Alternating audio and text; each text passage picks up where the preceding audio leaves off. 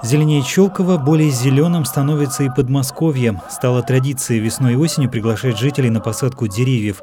Нынешний год не исключением. С 11 утра на семи площадках городского округа Щелково будут высаживать деревья 21 сентября. В этот день в Подмосковье пройдет ежегодная акция «Наш лес. Посади свое дерево».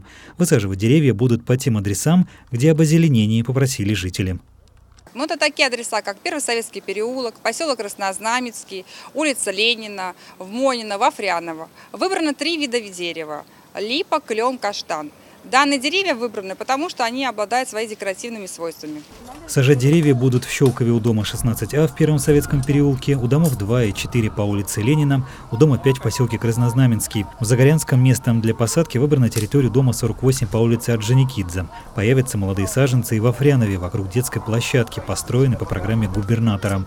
У домов 8, 11 и 12 по улице Текстильщиков. Восстанавливать массивы зеленых насаждений будут и в Монино, на улице Авиационной, и вдоль новой пешеходной дорожки в Литвинове. Молодые деревья появятся и на реконструированной улице Пушкина.